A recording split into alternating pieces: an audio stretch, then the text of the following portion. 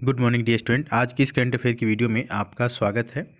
यहाँ पर पहला क्वेश्चन है कि हाल ही में ऑस्ट्रेलिया के किस पूर्व ऑलराउंडर खिलाड़ी का निधन हो गया? तो यहाँ पर ऑप्शन नंबर सी है एलन डेविस, डेविडसन।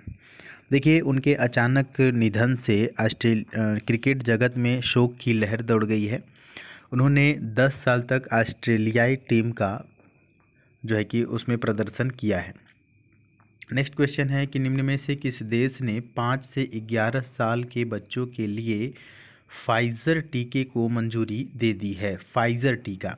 तो यहाँ पर ऑप्शन नंबर बी है, यानी कि अमेरिका।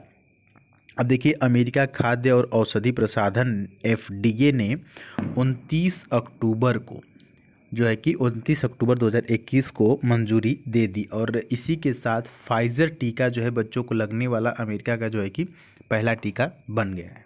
ठीक है? नेक्स्ट है कि जलवायु वित्त के लिए विकसित देश वर्ष 2023 में कितने बिलियन डॉलर का फंड जुटाने में सक्षम होंगे?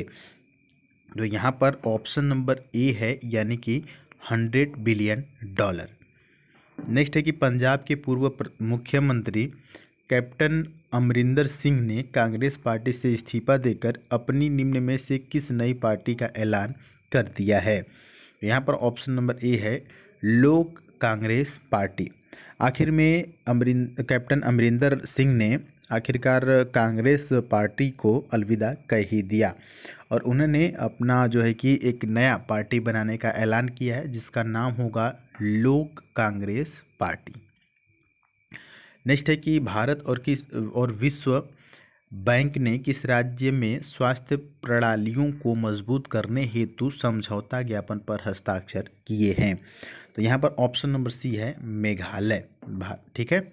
तो इस परियोजना से राज्य के सभी ग्यारह जिलों को लाभ मिलेगा।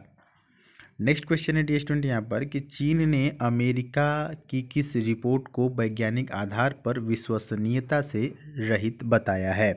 तो यहाँ पर ऑप्शन नंबर सी है, कोविड की उत्पत्ति का बौद्धिक मूल्यांकन।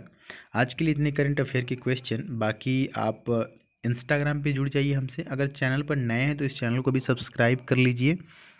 बाकी चीज़ों के लिए मिलेंगे अगली वीडियो में। तब तक के लिए जय हिंद, वंदे मातरम।